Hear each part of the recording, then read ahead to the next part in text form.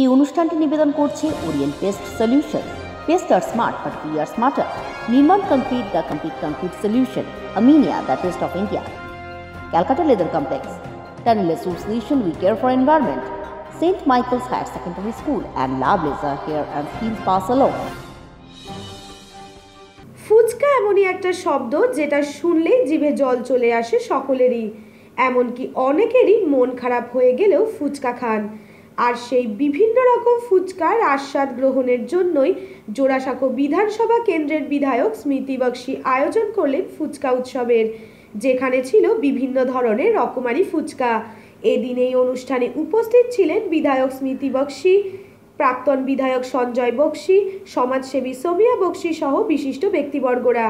এই উৎসব প্রসঙ্গে স্মৃতি বক্সি বলেন, ফুচকা খাওয়ার কোনো বয়স হয় না। ছোট থেকে বড় সবাই ফুচকা খেতে আগ্রহী। তাই এই ধরনের উদ্যোগ নেওয়া হয়েছে। পাশাপাশি প্রাক্তন বিধায়ক সঞ্জয় বক্সি বলেন, স্মিতা বক্সির উদ্যোগে এরকম ধরনের নানান উৎসবের আয়োজন করা হয়, যাতে সব বয়সের মানুষ আনন্দ উপভোগ করতে পারেন। তাই এই ধরনের আয়োজন করা হয়েছে। এছাড়াও সমাজসেবী সোমিয়া বক্সি বলেন, ফুচকার আট থেকে আশি মহিলা থেকে পুরুষ সবার মধ্যেই একটা অত্যন্ত আকর্ষণীয়তা আছে।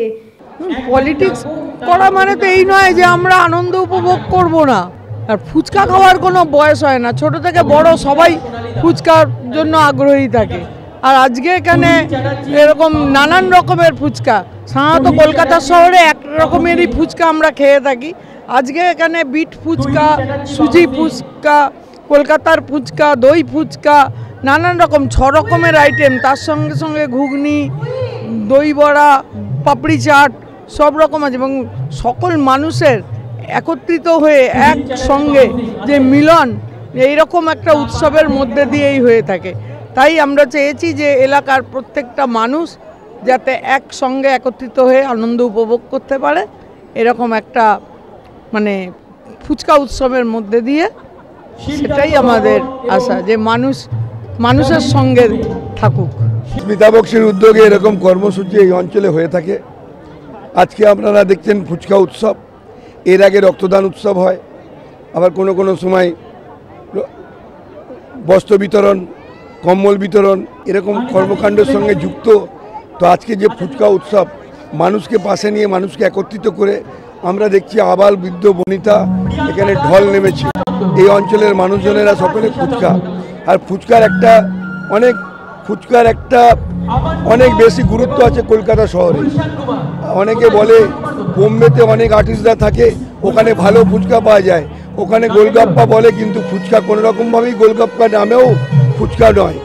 যত ভারতবর্ষের যত জায়গা আছে সব থেকে বেশি সব থেকে ভালো, সুন্দর, ভালোভাবে খেতে মজা লাগে, আনন্দ লাগে এই ফুচকা কলকাতা শহরের ফুচকা। সেই রকম আজকে এখানে এই অনুষ্ঠানে প্রায় ন রকম, ন রকমের ফুচকা এখানে। কোথা থেকে এরা বার করেছে, দই ফুচকা থেকে আরম্ভ করে বিভিন্ন ফুচকার আয়োজন এখানে। কোথায় বিট ফুচকা, দই ফুচকা এবং চাইনিজ ফুচকা বিভিন্ন ফুচকার আয়োজন করেছে।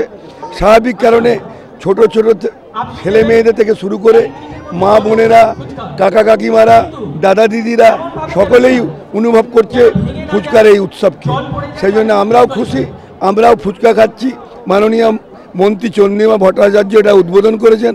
তার সঙ্গে সকলে মিলে আমরা ফুচকা খেয়েই এটা উদ্বোধন করলাম। খুব ভালো লাগছে। না, এটা তো লক্ষ্য কিছু না। এটা প্রথম বছর। আমাদের এই বিধায়ক স্মিতা বক্সির উদ্যোগে ফুচকা উৎসবটা প্রথম বছর। এখানে আলাদা করে কোনো লক্ষ্য বা আলাদা করে কোনো উদ্দেশ্য নেই। উদ্দেশ্য একটাই যে মানুষকে মানুষের সাথে, একসাথে থেকে মানুষের সাথে আনন্দ উপভোগ করতে হবে। এবং ফুচকা এমন একটা ব্যাপার, আট থেকে আশি মহিলা, পুরুষ, সবার মধ্যেই ফুচকার একটা অত্যন্ত আকর্ষণীয়তা আছে।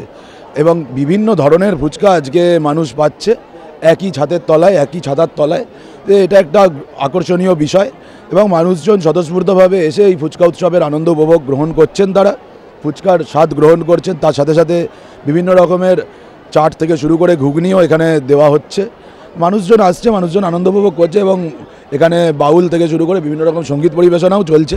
এটা একটা অত্যন্ত সুন্দরভাবে মনোরম পরিবেশের মধ্যে মানুষজনকে আনন্দ উপভোগ দেওয়ার জন্যই এই অনুষ্ঠান। হ্যাঁ নিশ্চয়ই, এখানে দেখুন ফুচকা, যেরকম বললাম যে আট থেকে আসি সকলেরই ফুচকার ওপর একটা আলাদা আকর্ষণীয়তা থাকে, আমরা স্বাভাবিকভাবেই ফুচকা একটু কম খাই, এটা ঠিক, কিন্তু যখন এরম সুযোগ পাচ্ছি তখন কেন নয়? রকমের ফুচকা এসছে, তো আমি কখনো নামও শুনিনি, কখনো খাইনি, এখনও পর্যন্ত খেয়ে মানে ওঠা হয়নি, এবারে আমি যাব, খাব। মানে আমরা দই ফুচকা শুনেছি বা পালক পালক ফুচকা শুনিনি আর চাইনিজ ফুচকাও শুনিনি। এবার যেগুলো কীরকম খেতে হয় সেগুলো আজকে খেয়ে উপভোগ করে দেখব। ক্যামেরায় সাদ্দাম হোসেনের সঙ্গে রিয়া ভট্টাচার্যের report twenty four hours TV, Kolkata.